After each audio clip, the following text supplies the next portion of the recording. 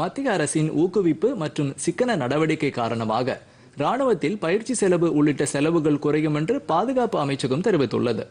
பாதுகாப்பு அமைச்சகத்தில் செலவை குறைத்து பயிற்சி மற்றும் தளபாடங்களை தக்க வைத்துக் கொள்ளும் பாதுகாப்பு சார்ந்த ஊக்குவிப்பு கொள்கை வெளியிடப்பட்டுள்ளது.